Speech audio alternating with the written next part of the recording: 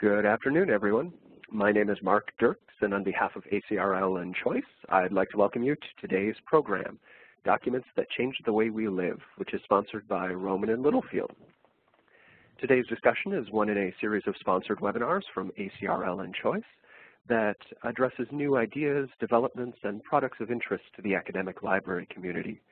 Free to users, these structured 60-minute live presentations provide the opportunity for interactive discussions of important new issues and developments in academic librarianship by librarians, vendors, authors, and other interested stakeholders. Before we get started, I'd like to point out a few features of the webinar software. In the main area of the screen, you can follow along with the presentation materials. Along the right-hand side, you will see a Q&A panel and a chat panel. If you don't, you can click the buttons labeled Chat and Q&A in the upper right corner of the screen to activate the panels please use the Q&A panel to submit questions to Joe at the end of the presentation. Uh, he'll take a few minutes to answer your questions, so please do send them in throughout. If you experience any technical issues, please use the chat panel uh, to let me know, and I'll troubleshoot the issue with you privately. Today, we're using the hashtag ACRL Choice Webinars during the event, so if you have another screen handy, shout out to us. We're at choice underscore reviews on Twitter would also mention that uh, if you are interested in Joe's book, Documents That Change the Way We Live, at the Rowman and Littlefield store at rowman.com, you can receive 30% off the cover price using the uh, promo code Joe Janes. That's J-O-E-J-A-N-E-S. And also, please note that we are recording today's program, and everyone who registered will receive a follow-up email with a link to the archived version. So our presenter today is, as I've mentioned, Joe Janes. Joe is a frequent speaker in the U.S. and abroad. He is the author of several books, including Documents That Change the Way We Live and Library 2020. He has written a monthly column for American Libraries magazine since 2002. He holds an MLS and a PhD from Syracuse University and has taught at the University of Michigan, the University of Toronto, the University of North Carolina at Chapel Hill, the State University of New York at Albany, as well as at uh, Syracuse and Washington. So with that, we are ready to get started. So I will turn the floor over to you, Joe.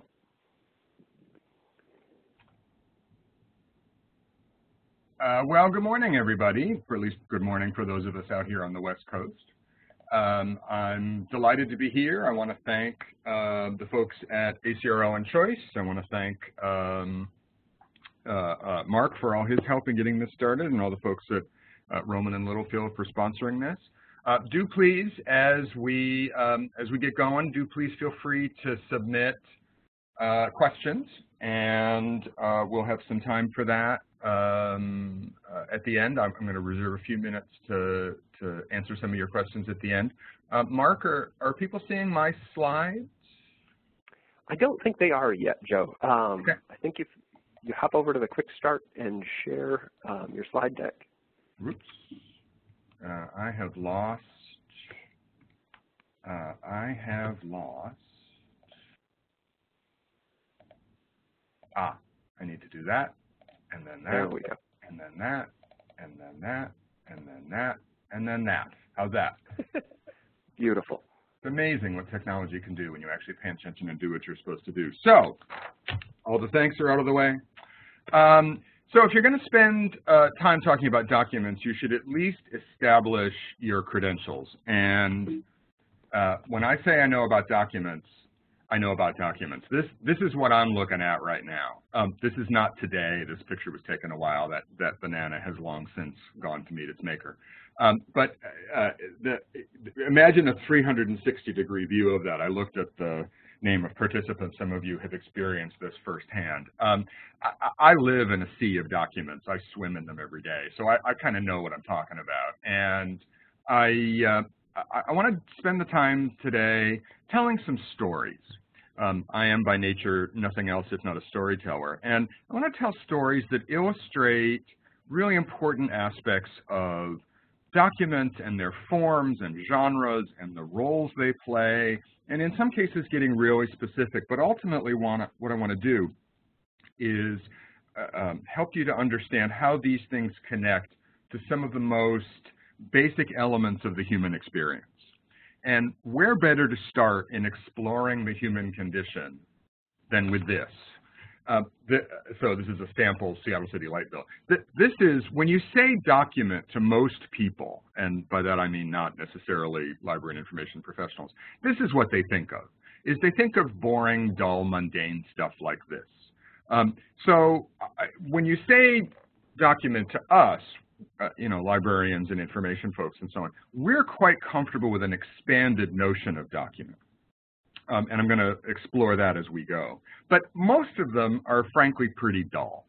Some of them, though, are more personally meaningful, more personally important. Um, to all of you, that's a lovely mid-century wedding picture. Um, to me, that's my mom and dad. That's my mom and dad's wedding picture. And uh, other than, you know, giving a plug for a mom and dad, uh, to whom I owe a great deal, um, it also illustrates that um, when we say document, it isn't necessarily exclusively textual. It can, it can include images, it can include sound, it can include uh, moving images, it can include things of other formats. So uh, that's always good to have in the back of our minds. But lots of them are really everyday or at least mundane. Now, here's one that I haven't used in a very long time other than talking about documents. Uh, so that's a, uh, an official copy of my birth certificate, minus the seal, so you can't actually use this. Um, most documents document things, record things. They do some work. They fulfill some personal or institutional or social need. And, and that's why these things arise. When you think of all the things that are in your wallet, when you think of all the things in your safe deposit box or that you have at home, those things are meant to do something. Um, they're meant to document or, or record or do some sort of work. Now, nobody gives a dang about my birth certificate, with the possible exception of me. Um, but some get a little more attention. So here's a birth certificate you may actually have seen, or at the very least have heard about. This is a very ordinary birth certificate, until it wasn't. Um, issued by the State of Hawaii Department of Health in 1961 um, for a newborn child in Honolulu. Um, and then years later, it became famous around the world. In fact, I have a serving platter, um, the, which somebody thought was funny, um, of, uh, with the image of this birth certificate on it. Um, identity documents, things like this, and passports, and driver's licenses, and certificates of naturalization, and so on, can make a huge difference, and as can documents of all kinds. Now, it doesn't have to get that famous to actually make a huge difference, but uh, for most people in most situations, these things have these are among, identity documents like this are among the most familiar. And in fact, how many times in the last, you know, couple, three weeks have you heard the word undocumented? Uh, which means that for some people, all the pieces don't necessarily fit into place, and it's the pieces of paper that can actually guide and structure what you can and can't do in society, because we have built a society around those documents and the need for those documents to demonstrate something. Um, there are lots of examples of otherwise really mundane documents that got famous fast. That in the lower right-hand corner there is, is Alfred Nobel's handwritten will. Um, and you see that it's a mess. It's written, uh, I mean, the hand is beautiful, but it's written on the sides. This is actually four pages. It's a page folded over. So if you look on the reverse of this, you'd see exactly the same sort of thing. This should never have worked. It was badly formed. He never actually established the Nobel Foundation other than in the will. His executors had no idea that there was such a thing as a Nobel Foundation. There's all kinds of stories about them spiriting his money out of France because they thought it was going to be um, held back for taxes and so on. Um, so here's a perfectly ordinary will um, that wound up uh, establishing the Nobel Prizes, which are going to be announced in a few weeks, which, you know, uh, in a lot of ways help to denote what, what some of the great achievements of the, humans, uh, the human species are. Um, a document doesn't have to be famous to be impactful. Here's one you've probably never seen or even heard of. This is Catherine Brewer's diploma from the Georgia Female College in 1840. And so far as I can find, this is the first diploma ever issued to a woman anywhere. Uh, women were not um, uh, welcomed at Oxford, Cambridge, Harvard, Yale, places like that. But the Georgia Female College, Catherine Brewer was one of the first uh, female students at the Georgia Female College. Uh, she gets the first diploma because she was first in alphabetical order in her graduating class in 1840. That's in their, it's now Wesleyan College, that's in their archives. Um, and, and this just tells us about, um, you know, how we, how we have evolved. Um, uh, some of them are much grander. Here's, this is the actual text. This is the actual document of the 19th Amendment. Um, you can see on the left-hand side that it's signed on the back. Um, this is in the National Archives. This is the original uh, joint resolution of Congress that was then, copies were sent to the states for ratification, finally ratified in 1920. Um, this actual document is 1919. So some are much grander. Some are even grander still. Uh, you may have heard about this in the last few weeks, the 40th anniversary of the launch of the Voyager probes, um, uh, which if you've seen the first Star Trek movie, we actually know what happens to them. But these were meant to, uh, these were attached to the side of the Voyager probes, um, which were launched 40 years ago this month, primarily to explore the outer planets. But then now the Voyager probes are the furthest objects of human construction. Um, and Voyager 1, in fact, has, has passed the heliopause, has left the solar system. Um, it's entirely possible um, these are the only artifacts that will survive human civilization. Um, it's highly unlikely they will ever be damaged. It's even less likely probably that they'll be intercepted or even understood. But on, the, on these records, they are long-playing records, and for those of us old enough to remember these things, they're at 16 and two-thirds RPM because that meant you could get twice as much stuff um, as a 33 RPM. On there is music, there are pictures, there are greetings from Jimmy Carter and unfortunately Kurt Waldheim. Eh, it's before anybody knew. Um, so this document is a lot of things. It's a letter of introduction, it's an instruction manual, it's a map, it's an invitation, it's a family album, it's a scrapbook. Um, it's probably best described as a message in a bottle, um, uh, trying to uh, reach out to whoever might be out there to explain who we are and what we are and what we were and, and what we meant and the stories that we have to tell.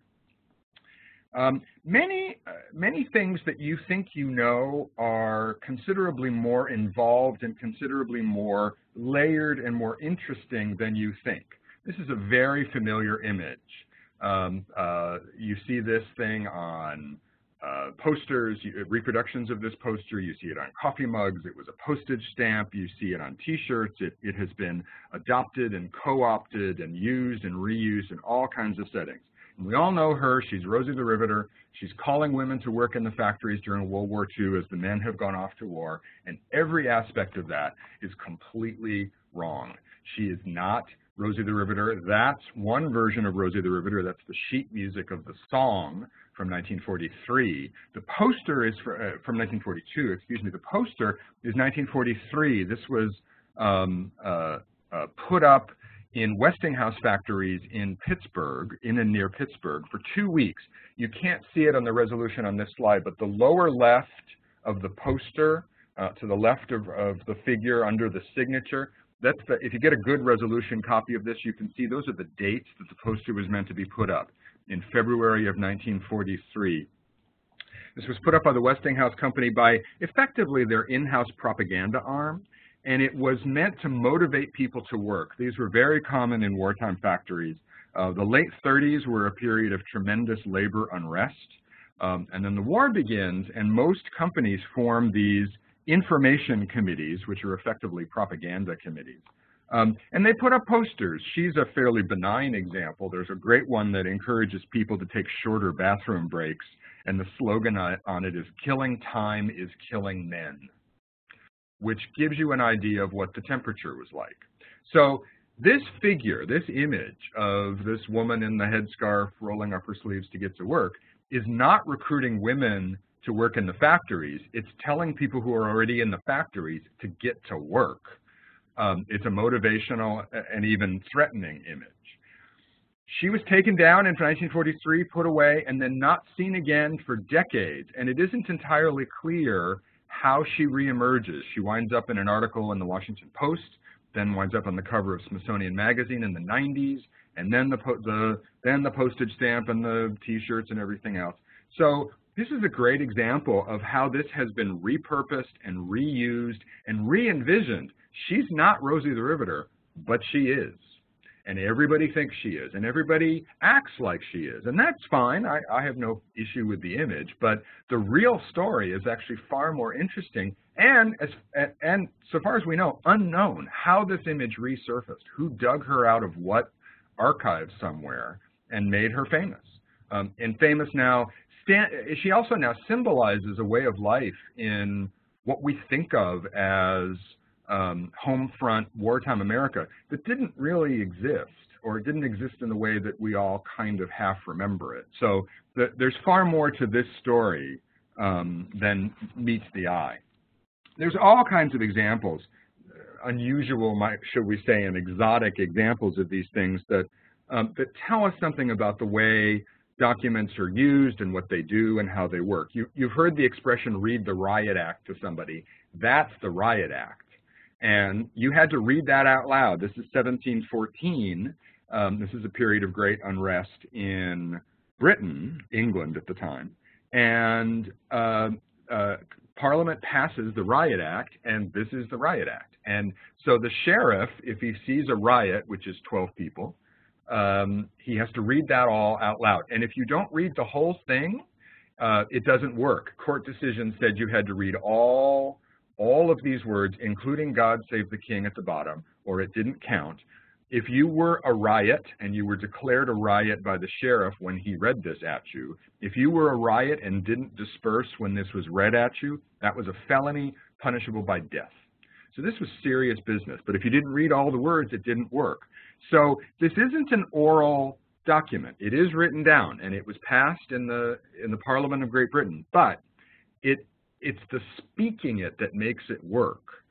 So it, it bears resemblance to things like testimony or a ceremonial oath uh, or even a magic spell. If you don't say all the words, it doesn't work. Um, and and so it's it's a fascinating example of how a document can take multiple forms and, and how it works differently. You can't just wave this at people. You have to read it to them. Sometimes a document can be important because of what's missing. Uh, those of us of a certain age remember Rosemary Woods. That is Rosemary Woods. She was Richard Nixon's secretary, and she here is demonstrating what became known as the Rosemary stretch. You see her foot um, is on a pedal um, for a recording device that's next to her typewriter. I mean, if you're geeking out on old technology, here it is. And she's demonstrating that she was holding down the pedal while she reached for the phone, and that might have been how she erased a few minutes of one of the tapes um, from, in this case, the executive office building of a conversation between Nixon and Haldeman. Um, that, that doesn't explain the whole story. Uh, the, the forensic audio engineering report that was filed became uh, in, to investigate the 18 and a half minute gap, uh, which is a series of buzzes uh, they were never able to determine how it was done. They knew kind of the, the superficial notions of it, but they never knew how it was done. They certainly never figured out who did it. They know there was human speech underneath, but they don't know what it was. That became the textbook for forensic audio engineering investigations to this day. Um, the, this tape, this, this particular conversation is not particularly interesting. I've listened to the whole thing. It's not the smoking gun tape from three days later where Nixon out loud says that he was the one who directed the, or at least was aware of the Watergate break-in. Um, so the, the importance, though, of the 18 and a half minute gap when this was revealed in, uh, in 1973 um, was that it documented a void. It docu and it became an emblem of mistrust. The fact that there was something missing from this tape was yet another straw on the camel's back of a lack of confidence in the president and the government and questions about the functioning of the Constitution. So this, this is a void, this is a, a gap that uh, became an important source of documentation, an important document. Documents don't even have to exist to work. Um, Joseph McCarthy gives a talk to the Ladies Club, the Ladies Republican Club of Wheeling, West Virginia in February of 1950 for uh, Abraham Lincoln Day. And he says he was going to give one of two speeches, either about housing or about communism. And he gives the communism speech. And he says, I have in my hand a list of 205, a number he apparently made up uh, or got wrong from a staff report, uh, communists in the State Department, and off he went. He was nobody. He was um, uh, uh, what, who later referred to as the junior senator from Wisconsin, and had what I like to think of as a complicated relationship with the truth. But it didn't matter. He had he had the stage, and people were ready to make this work. There was never a list. He never produced a list. He kept changing the number of people who was on the list. First it was 205, then it was 57, then it was 81, then it was 10. There's never a list. He introduced the speech into the congressional record. There was no list appended to it, and yet it worked. The House Un-American Activities Committee was already at work, had been for over a decade, but kicked into high gear. This kicks off the blacklist. This kicks off the purge of suspected communists in, in um, entertainment and other, other industries and businesses around the country. Hundreds of people go to jail as a result of this. Thousands of people lose their jobs. Lives are ruined based on something that never existed. So any document, from my birth certificate to the 19th Amendment to this list of McCarthy's, has to be made to work. They don't do these things on themselves. They have to be made to work. And sometimes they do different work at different points in their lifestyle. Here's one of the great document stories of all time. You all know this. You've all seen this. Many of you have seen it in person in the British Museum. It's the most visited object in the British Museum. It's the most famous, the most lucrative, the most marketed object in the British Museum. It's the Rosetta Stone. And as you may already tell, I, I haven't picked the obvious things here when I was um, doing a podcast series and then putting this book together, you know, what am I going to say about Magna Carta that somebody hasn't already said? But the Rosetta, and I didn't want to do the Rosetta Stone until I went to the London, uh, until I went to London a few years ago and saw the Rosetta Stone again. And the docent said, you know, everybody knows there's three languages on this, and this is how we broke the code of hieroglyphics, and Champollion used this to figure out the Egyptian language and all the rest of it, blah, blah, blah, blah, blah. But what I never knew, and what very few people know, and you can't really see it from this image, is there are four languages on this. And up the side, up one side and down the other is written, presented by the British to the British Museum by King George III um, in English, uh, because when the when the uh, English stole this from the French, who dug it up in the in the Egyptian desert during the Napoleonic campaigns, they effectively vandalized it. But now it's historical record. So now there's four languages on this, and that made me think this thing is really interesting. So this was meant originally, uh, everybody knows this thing, but nobody knows what it is. Well, it's the text of what's known as the Decree of Memphis. Ptolemy VII is a boy king um, in the second century BCE whose father is killed by, you know, thugs and mercenaries led by his father's mistress. Well, we've all been there, right? We know these things. And um, you're the boy king now, and the priests come to you and say, hey, why don't you, uh, we're going to make you a god, and we're going to celebrate your birthday in the official calendar, and we're going to support you on the throne, and in return, we want you to free some political prisoners after we, you know, purge the assassins, um, who we probably put up to do it in the first place. Um, and you're gonna you're gonna uh, authorize our legitimacy, and and and that's a good idea, right? And Ptolemy, not being stupid, says yes. This is the decree that legitimizes all of that. There are multiple examples of this that are known. We've uh, more have been uncovered. It's partial. There should be a whole lot more up at the top and at the bottom. But this thing was carved, not always well. There's spelling errors in the Greek, which means that either the carvers were illiterate or they didn't have whiteout in those days. Um, propped up against temples, and it, it effectively stabilized the regime. Ptolemy dies, the dynasty dies, um, the you know the, the the empire falls, and and years later, we don't know quite how, this thing is taken down and used eventually as foundation material for a fort in Rashid, which the French interpreted as Rosetta, hence the Rosetta Stone.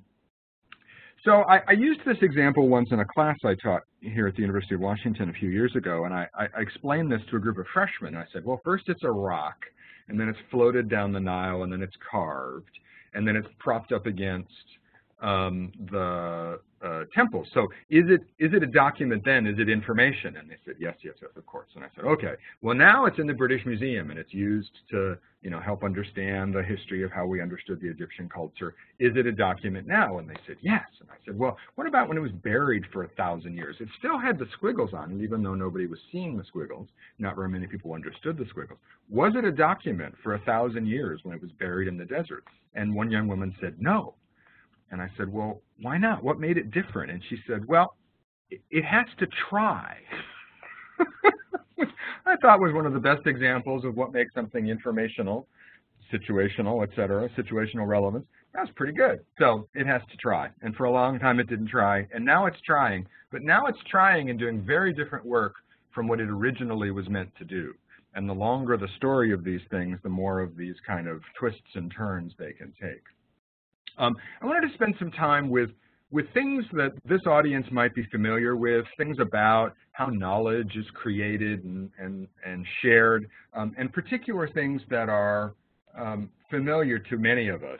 There's Noah Webster, and if you're not following the Merriam-Webster Dictionary Twitter feed, you are missing out. You should follow this, because you get a word of the day, but also they're just kind of snarky, um, and you find out what words are trending and why and what other dreadful things are happening in the world.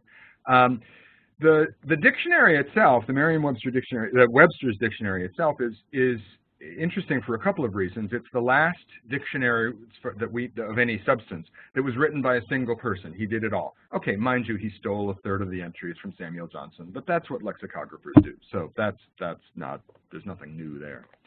Um, but what he primarily was trying to do, note the title, An American Dictionary of the English Language. He was trying to articulate what American English was as distinct from British English.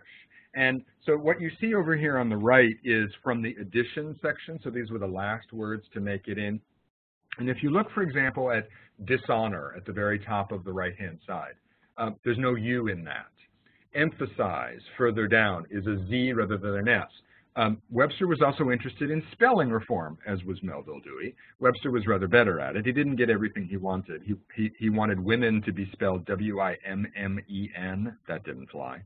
Um, uh, but he did manage to get the Z and, and drop the O. Blebby, by the way, if you're looking at Blebby right under bookstore over there on the left, um, Blebby, a bleb is a blister. That one hasn't really taken off. Uh, but you see it's a, it's a, fairly rudimentary dictionary, but it's got usage notes and, and uh, etymology and so on. Um, but this tells us some, this, this tells us about the power of this to articulate not only spelling but also usage and the way people um, think about language, and particularly the way American, this was a very nationalistic thing. Um, this is a very internationalistic thing. This is the Internet Protocol. Uh, which is uh, actually written as an RFC. It's, a, it's for all intents and purposes a print document. If you've got good resolution, you can see this was done on a dot matrix printer. Uh, there's something really funny about the fact that the internet is the protocol, internet protocols to this very day are controlled by something that is effectively ASCII art. Um, everybody knows the Wikipedia story. The Nupedia story is a little bit less known. This is what Jimmy Wales and Larry Sanger did before the Wikipedia.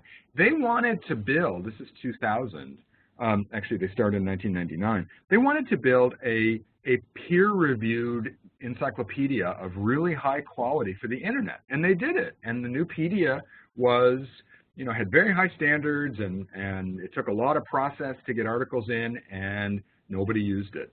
And they had this great idea, let's, let's build a wiki and put it as a front end, as a sort of a, you know, hopper for people to write articles and refine them before they go in the Nupedia. And we all know what happened after that. So the unintended consequence here is that the Wikipedia turned out to be way more interesting than the Nupedia. But also this, this is a very 21st century idea about where authority comes from. Britannica and its and its its kin, the other encyclopedias that we all are familiar with, are top down, and this is bottom up. And neither one is necessarily any better, but they are very different ways of um, instantiating and constructing knowledge.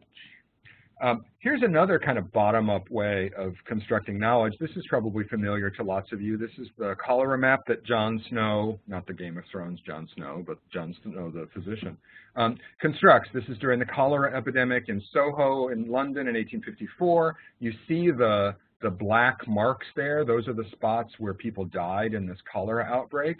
And it was all based on which pump handle you used. If you went to one water pump that was contaminated, you basically died. If you went to the other one, you lived.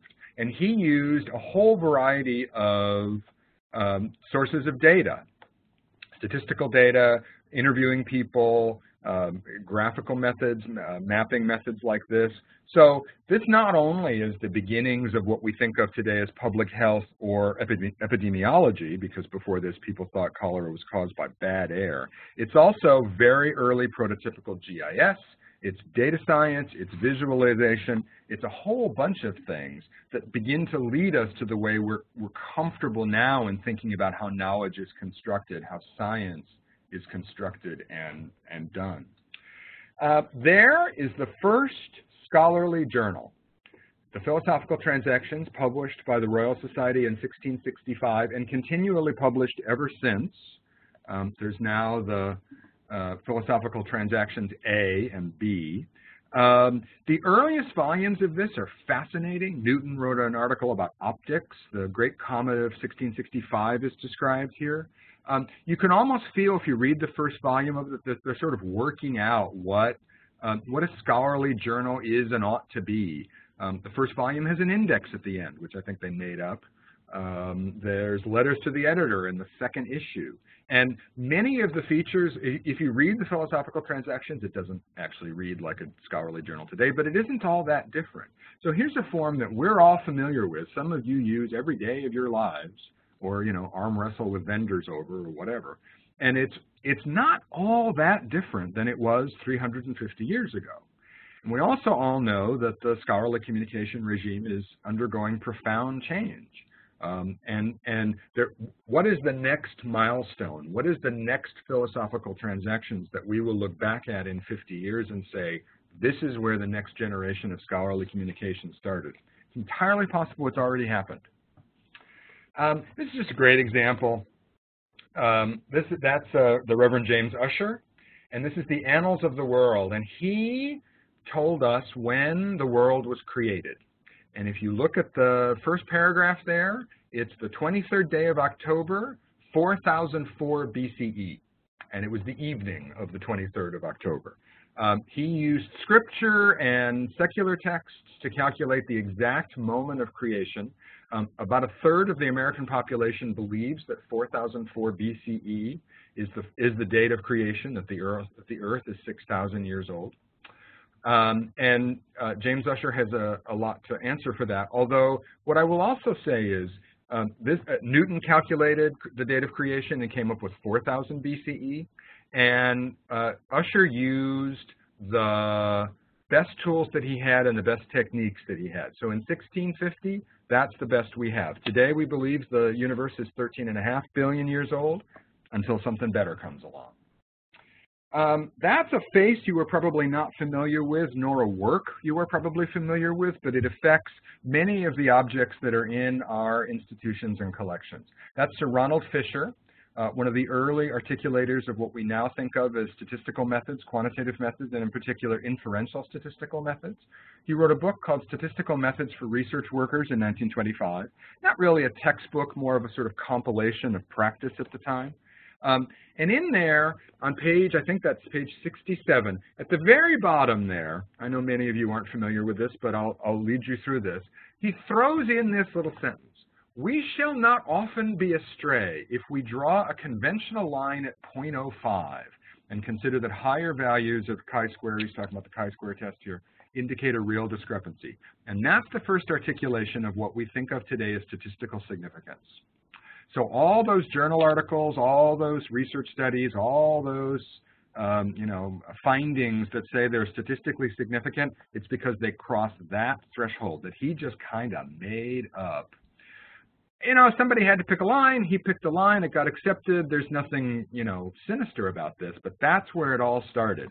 And now almost 100 years on, That's still how it goes. Um, here's a great story. So, uh, uh, you know, today's September 21st, but it's September 21st because the Pope said so. Uh, that's Pope Gregory VII sitting on his throne. Notice the guy pointing at Scorpio. Um, in 1582, everybody knew that the calendar was out of whack, but they didn't know how to fix it. Um, and the Pope convenes a commission that uh, figures out how to fix it. They actually do figure out a way to fix it. This is the Gregorian cal calendar we use today. But it takes several hundred years for this papal bull, Inter Gravissimas, that the Pope writes and seals, it takes several hundred years for this to make its way around the earth. Italy adopts it almost immediately, of course, as does Spain and France. But, uh, oops, sorry, we're back on Sir Ronald. Um, but it takes more than 100 years, almost 150 years for this to reach Germany and England, um, even later um, to places like Russia and China. The Islamic calendar is still lunar rather than solar. And the reason this took so long to get around is in no small part because of this. That's an indulgence. And you all know what an indulgence is.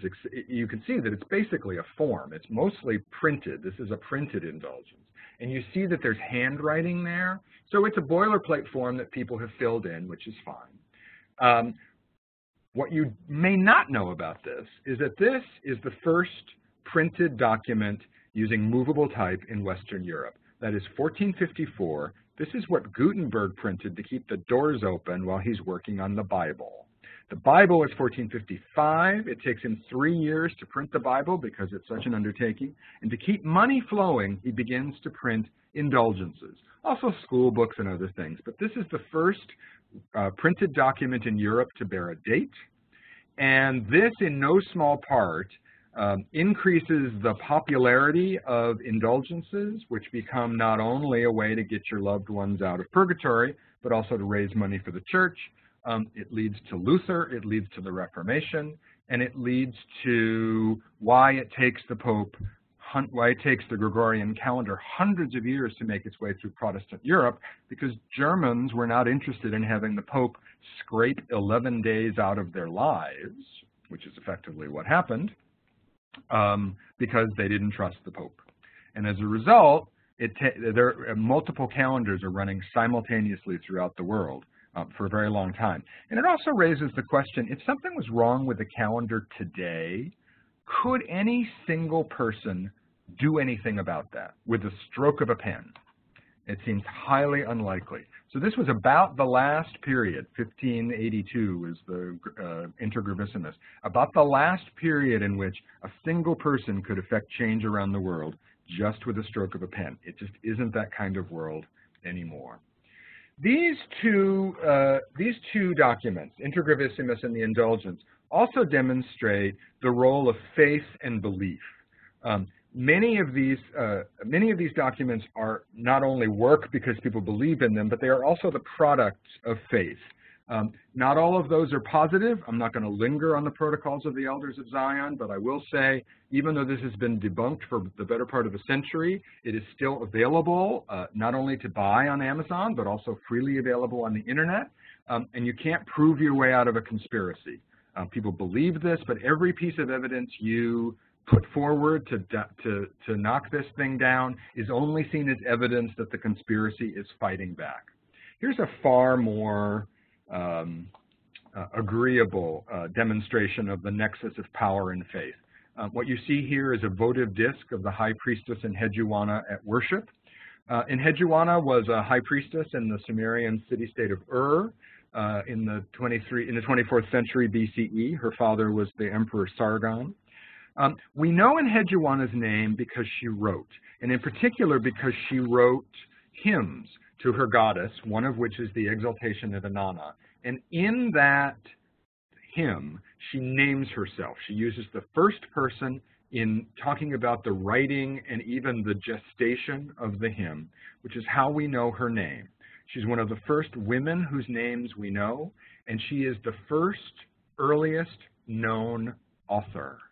So the idea of authorship, of taking credit for your work, may well have begun with the high priestess in Enheduanna uh, 4,300 years ago, which is a quite remarkable thing when you think about it. power manifests in a lot of ways. We've seen power in the constitutional amendment, in the birth certificate, in the will, in the Riot Act, even in McCarthy, but also in Webster, in the TCP IP protocols, in the Nupedia, in the indulgence. Here's another example of power. This is the DSM. That's the first edition of the DSM, the Diagnostic and Statistical Manual. This, is, this lists all the mental disorders. And if your not if your syndrome isn't in there, you don't have a mental disorder and you can't get insurance to have it treated. So if you're, so this is a tremendously powerful work. Here, the authority comes from expertise and experience, but if you're not in the book, it's not a mental illness. This is a fascinating example that I want to explore more.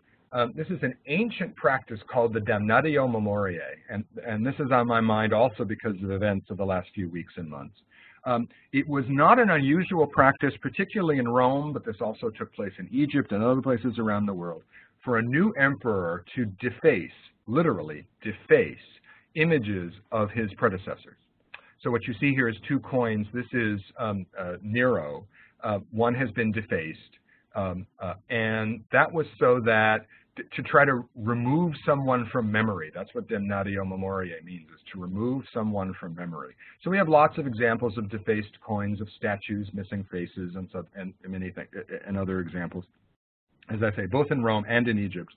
Um, the, recent discussion about how we remember events around the Civil War, for example, around memorials and statues and monuments and so on, um, brought to mind to me the, the very old idea, this is not a new idea, of the Damnatio Memoriae.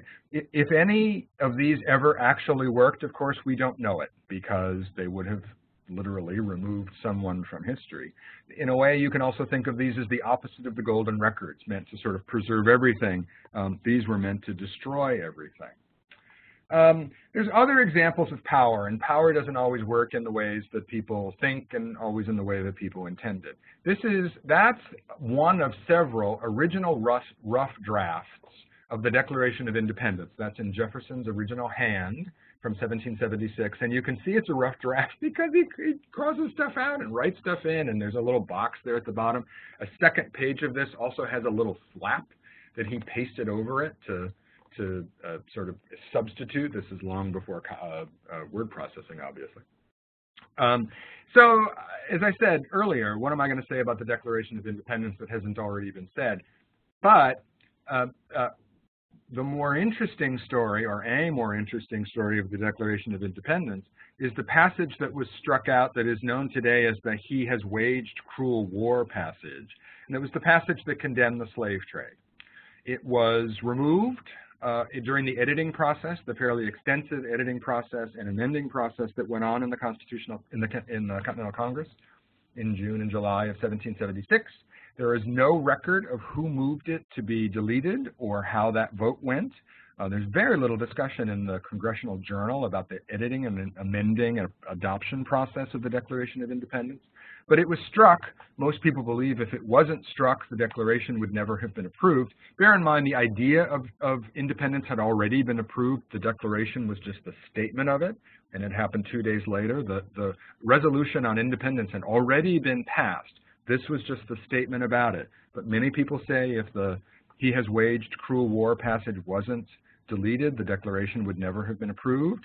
But it was, and it was, and we're still dealing with the outflow from the striking of that passage 240 years later. So never let it be said that the editing process isn't important. Uh, power. Well, here's a cute example of power. There's Franklin Roosevelt carving a turkey. Um, the date of Thanksgiving may seem a really settled question now. Uh, for a long time, it wasn't. It was individually proclaimed by presidents going all the way back to Washington. Um, it wasn't always a Thursday. It wasn't always in November. Lincoln sort of fixed it as the fifth, as the fourth Thursday in, uh, or the last Thursday in November. Roosevelt takes office in 33, and people write to him saying, oh, Thanksgiving's going to come really late this year. This is the very depths of the Depression. Why don't you move it back by a week, and then we'll have a longer shopping season, 1933. Uh, Roosevelt doesn't do it, but in 39 he does, because we're in the same calendar position. So he moves it around. Those of you who know the movie Holiday Inn, there's that little animated thing of the turkey going back and forth. That's a reference to this. Um, the Senate didn't like that. The Congress didn't like this, so they passed a law fixing the date of Thanksgiving. Note the date on this thing. This is two days after Pearl Harbor, and the Senate is using its time to pick the date of Thanksgiving, but there it is. Uh, but for a couple of years, there were multiple dates of Thanksgiving. This is a map from Newsweek. So find your state, and then if you were, if you have the little pilgrim carrying a turkey, then you would celebrate on the 23rd. If you have the little pilgrim eating the turkey, you celebrate it on the 30th. And you see different states had different ones, you know. Uh, uh, this went on for a couple of years until um, until the Congress acted. So this is a kind of cute example of the, the, the power of the proclamation. This is a proclamation that presidents used to give. It's not enumerated in the Constitution as a presidential power, but it's been used all the way back since um, uh, since Washington for proclamations, usually for kind of ceremonial stuff. Um, the other version of this is something called the executive order. Um, these can be far less cute. Um, and this is a poster that was posted in Seattle. This is the Seattle version of it, um, telling people where to report and when to be deported uh, as a result of Executive Order 9066. This is an executive order different from a proclamation. Um, these have been ruled to be constitutional because they fall into this kind of what the Congressional Research Service calls a twilight zone of presidential power. Um, uh, so the executive orders, this is how ex executive orders have been ruled that they are constitutional, even though they are not enumerated by the Constitution. Um, and they can sometimes have devastating impacts. Um, and in this, and in many cases, impacts that go on uh, for generations, if not longer. When we're talking about presidents, um, here's a fascinating document. This is frame 312 of the Zapruder film. Abraham Zapruder was a dressmaker in Dallas who left his movie camera at home that morning. And it was only when the skies cleared about 10.30 that he went home to get it. So imagine, if you will, a world without the Zapruder film. Uh, yet another conspiracy, yet another set of questions. This is frame 312. Frame 313 is the impact. Uh, I'll spare you frame 313, but you can certainly find it. Um, I include this not only because the Zapruder story itself is fascinating, not to mention the story of this film, which was seized by the government um, as a presidential assassination record under eminent domain. The family was paid off, but they kept the copyright. There's a lot of stories behind the Zapruder film. What I want to use it for here is to, is to plant a, a question in your mind for the rest of the day. Watch yourself the rest of the day and watch all the different ways in which what you do can be recorded or documented. When you make a purchase, when you send an email, when you can be seen by a video camera, when your cell phone is tracking your movements um, as you drive using a, a ma mapping app or call an Uber. In 1963, when the Zapruder film was taken, it's unusual, it is rare um, to be recorded, to be documented, to be um, uh, verified or validated. Today, it's almost ubiquitous. And that's a different kind of world. So the Zapruder film is one of the first instances of cameras everywhere.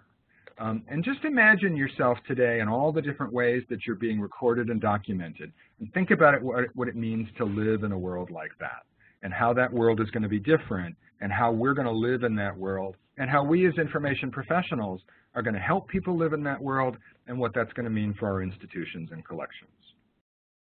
So I can't end on something that grim. I'm going to end on something far more fun and interesting, which is the Fannie Farmer cookbook. That is Fannie Farmer on the left, looking somewhat disapprovingly, I think, of her, uh, of her student. And she's holding a measuring cup. And she's holding a measuring cup because she is known as the mother of level measurements. Fannie Farmer, that's the Fannie Farmer cookbook, uh, the Boston Cooking School cookbook, written by Fannie Farmer, first edition 1896. She's the first person to write recipes in the way we think of them today, kind of structured with rules and with level measurements. There's several pages in this book that talk about how to measure flour, how to measure water, how to, how to do it so that it would be standardized and precise.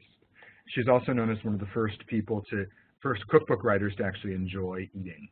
Uh, they were all pretty dull and pretty pretty rudimentary. Um, and that uh, uh, book that you see on the right is mine. That was my grandmother's.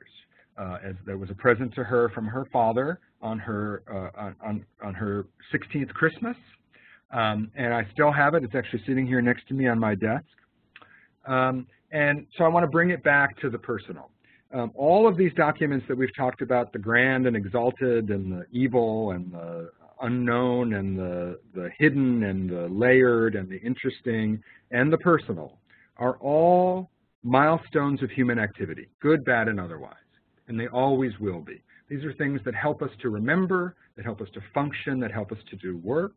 Uh, and the stories they tell are not only about themselves and about us as individuals, but us as a society and a culture.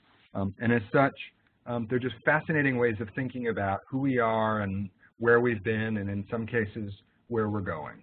Um, so, um, as I said, I'm nothing if not a storyteller. You just had a whole bunch of stories. If these are interesting to you, there are many more stories and many more to each of those stories um, in the book that, uh, that was published a few months ago, which is, uh, uh, as Mark said, available through the publisher's website and also on Amazon. Um, and there's also a podcast series. Just search for my name and the word documents um, on iTunes and other podcasting hubs, and you can hear me rattle on even more about these documents and others. Um, thank you all very much. Thank you for attending. I hope this was interesting, um, and I'm delighted. We've got a few minutes left. I'd be delighted to um, uh, answer any questions. Great. Excuse me. Great. This is Mark uh, with ACRL and Choice. Thank you so much, Joe, for uh, walking through all these documents. We got a few questions coming in here, it looks like. Great. Um, I would encourage folks to keep them coming. We've got a few minutes here. Um, we've got a question it looks like that just came in from Jennifer. And Jennifer says, um, can we count on LC, which I assume is the Library of Congress, yeah. to have everything published in the U.S.? Uh, she says it's not their mandate. If not, then do we need to keep everything? And who's responsible for collecting it and, and that sort of thing? Do you have any thoughts on that, Joe? Uh, well, the one of the things that I didn't talk about are the documents that we don't know because they didn't survive. The Exaltation of Inanna survived because it worked. That hymn um, was successful, and we have manuscript, it's all in cuneiform on clay tablets. We have manuscript examples, dozens of manuscript examples, handwritten examples of the Exaltation of Inanna over five centuries. So that was popular and used, and lots of copies were made, and as a result, it survived.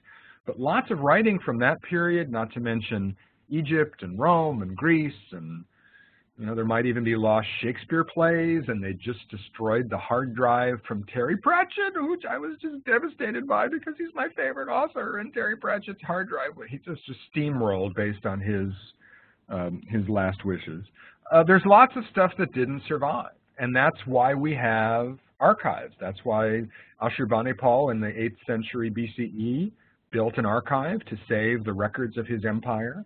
That's why Alexandria was built. That's why the British Library was built. That's why the first Chinese emperor tried to destroy all the works that came before him so that those traces of those civilizations would be gone. That's why the Damnatio, Damnatio Memoriae is tried. That's why we have institutions meant to preserve these things so that they will survive and so that we will survive. They're a way that we can all live on and, and be remembered and be understood. And I think that's one of the most um, uh, central aspects of what it means to be human. So, yeah, you know, I, I, mean, LC is a depository library for copyright, but that doesn't exactly work the way that it used to. And, and the, the more of these artifacts, and particularly artifacts that are fugitive in nature or ephemeral in nature or natively digital and don't necessarily have any kind of fixed, tangible, real-world presence, the, the importance of preserving those just gets more important by the day. Hmm, very, very interesting, yeah. Um, we've got a question that came through the chat um, from Lucy, and Lucy asks, what type of sources did you use to research these, these topics? did, did they, I you want the dirty secret, huh? Well, here's the dirty little secret is, um, in most cases, I started with Wikipedia. Sorry. Um, you know, we all know Wikipedia is bad because they're being edited, blah, blah, blah. Um, I did what I think many people do is I, I use Wikipedia as an orientation tool. I use Google as an orientation tool. Many of these things I knew the basic story. I mean, we all know the Rosetta Stone story. We all know the Declaration of Independence story. We all know a lot of these. Um, but I used the um, Wikipedia as a as a orientation thing and as sources. I, I will say, I, I, noticed that Betsy Wilson was one of the attendees. I hope she's still listening. Um, I am tremendously fortunate to be at the University of Washington, and we have one of the great library collections in North America, one of the great library collections in the world. And I have been through every stack. I think I've been through every Library of, call, library of Congress call number range um, in investigating this stuff. And, and a good deal of what I did was reading original stuff. So I read the Declaration of Independence. I read the Rosetta Stone text. I listened to the 18 and a half minute gap in the tape. I read the philosophical transactions. Um, I used HathiTrust a lot too, particularly for the older stuff. Um, I, I, I tried to get as much of the real story and the the secondary stories as I could. And, and the one, the episodes that I did and the chapters I wrote in the book are the ones that I found that there were more than one layer to the story.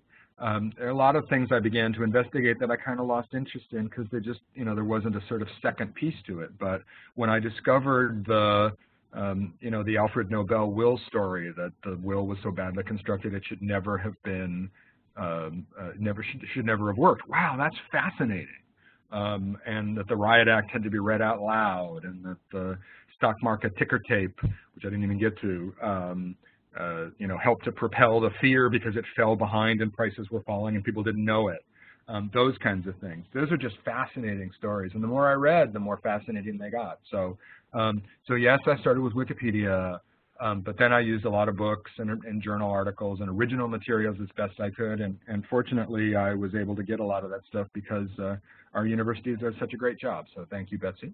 Um, and thank you to the University of Washington and all the other places that supplied interlibrary loan stuff. I really appreciate it. All right. So we've got a few more questions here. Um, let's see uh, the most recent one I think that we've got is from Pat, and Pat asks, are Twitter messages documents? Should we preserve them? Uh, well, the answer to the first one is certainly yes. Um, about preserving them, there's a, I mean, there was that whole business a few years ago that Library of Congress said they were going to preserve all the tweets, and then they figured out they didn't know how to do it, and they didn't have the storage capacity, and they didn't have the metadata capacity, and that was just kind of embarrassing. Um, Tweets are preserved. Now, they're preserved by Twitter. Even if you delete it, they're preserved by Twitter. Um, and if you really want to, your hair to stand on end, go to the Twitter website and, and first of all, look at the search facility, the advanced search facility for Twitter. There's a lot of stuff going on there. There's a lot of ways you can search for tweets. And second of all, look at the metadata. For something that can only be 140 character, there's two or three pages of metadata um, involved in tweets. So they are all saved uh, by Twitter um, but not necessarily in any, and you can search them, but you can't retrieve deleted ones and you can't always see all the metadata. So here's an example of something that is profoundly powerful, um, particularly in the last few months, um, that, it, that has profound power but is not freely available. It feels freely available and it seems it is, but of course it's owned by a corporate entity. Um, and that corporate entity has its own interests at heart and they want to make money, which is increasingly a struggle for Twitter in particular. Um, but like any company, they need to maximize revenue, and they need ways to monetize this. And so those things are there, but they're and they're available, but not really, and they're kind of free, but they're not.